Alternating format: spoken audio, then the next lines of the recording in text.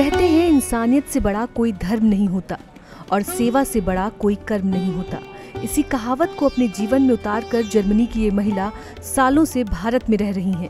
हाथों में हरे घास के चारे की टोकरी और मन में श्रद्धा भाव का पार सागर लिए गायों की सेवा करती ये महिला फ्रेडरिक इरिना है। फ्रेडरिक पिछले पंद्रह सालों से गोवर्धन के राधा कुंड में सुरभि गौशाला चलाती हैं और यहाँ पंद्रह सौ से ज़्यादा बेसहारा गायों की अपने बच्चों की तरह देखभाल करती हैं। इसी निस्वार्थ सेवा को देखते हुए भारत सरकार ने फेडरिक को पद्म श्री अवार्ड देने की घोषणा की है।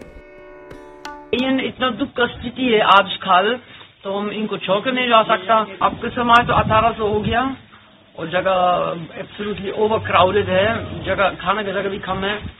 डेन रोज आता, दस पंद्रह केज रोज आता। मैं ये कहना चाहता कि ऐसी व्यवस्था होना चाहिए, जैसे कि ये इतना नहीं छोड़ देते। हैं फ्रेडरिक इरिना कान्हा की नगरी में कई सालों पहले राधा रानी के दर्शन करने आई थी। इसी दौरान सड़क हादसे में घायल हुई गाय को देखकर इनका मन विचलित हो गया और तब से ही इन्होंने मथुरा में रहकर गाय सेवा करने का प्रण कर लिया।